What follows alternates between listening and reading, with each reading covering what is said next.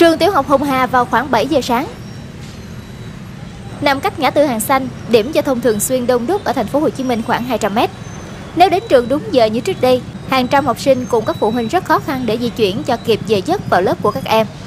Trường tiểu học Hồng Hà là trường đầu tiên chủ động lùi giờ học xuống nửa tiếng ở thành phố Hồ Chí Minh. Nửa tiếng đó đủ để tránh được thời điểm đông người đi học đi làm nhất. Hiện nay đa số các trường tiểu học, trung học, trung học phổ thông trên địa bàn thành phố đều có khung giờ vào học chung là 6 giờ 45 đến 7 giờ vào lớp. Đây cũng là thời điểm căng thẳng về giao thông ở thành phố Hồ Chí Minh. Và tình trạng kẹt ở trước các cổng trường rất phổ biến.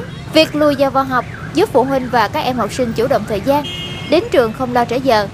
Đặc biệt là các trường nằm trên các trục đường chính có lượng phương tiện qua lại đông, tình trạng ung tắc cục bộ trước cổng trường giảm hẳn.